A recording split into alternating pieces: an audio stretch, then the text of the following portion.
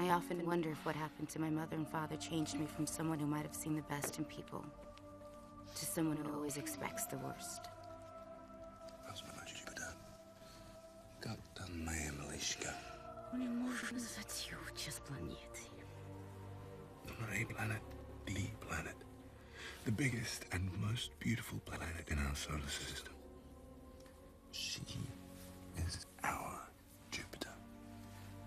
My dead body will name her Jupiter. Soon you will discover that your mother can be extraordinarily unreasonable at times. Hmm. But fortunately for us, she remains susceptible to your father's particular charms.